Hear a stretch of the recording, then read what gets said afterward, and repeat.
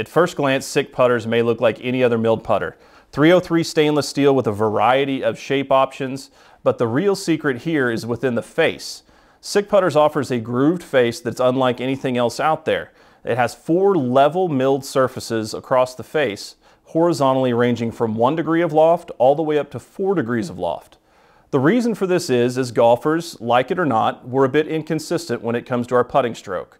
Whether that be forward shaft lean or even laying the shaft back at address, all these things impact the roll of the golf ball throughout the stroke. What SIK has done throughout their studies is find that this, is, this descending loft technology allows a consistent roll no matter how you present the putter at impact.